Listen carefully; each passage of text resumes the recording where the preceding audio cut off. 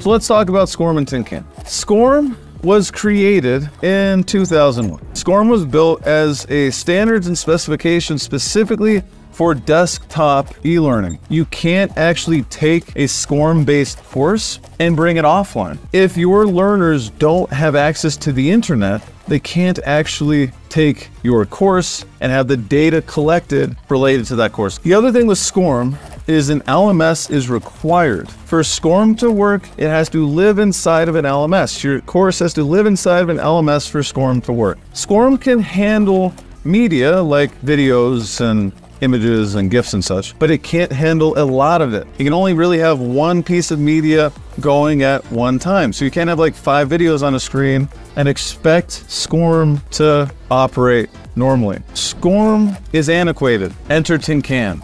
Tin Can was created in 2013. Tin Can's standards and specifications when it comes to e-learning is all about learners learning anywhere. Tin Can also allows you to learn without online access. Offline access is possible. Tin Can can actually be used independent of an LMS. Tin Can automatically is storing the data of your learners interacting with the course to something called the Learning Record Store, just automatically. That's why it doesn't need an LMS because of the LRS component. Do you need this? If you don't really care about your course being able to live in someone else's LMS because you have an internal LMS and that's really the only place you want your course to live, then you may not need this. And you can actually save a ton of money staying away from both of these. They have their uses, but they're not necessary.